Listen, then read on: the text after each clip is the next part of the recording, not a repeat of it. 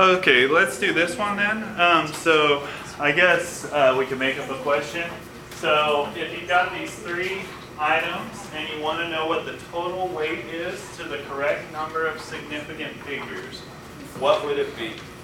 So how would we do that? What we would have to do is add these three numbers up and then go to the one with the lowest decimal point.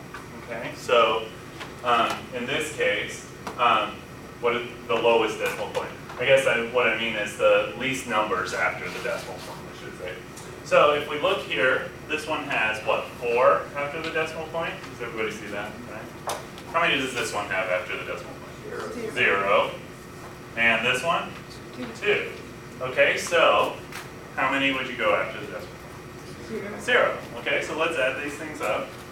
Thirty-four point four three five six plus one oh five plus three point one three.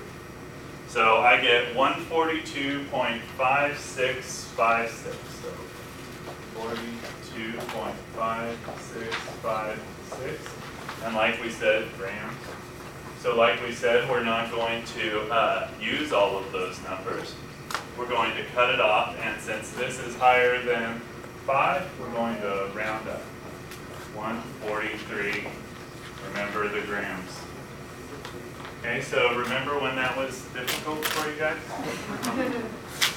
Okay, so um, I'm real proud of you that you guys can do it now. Any questions on this one?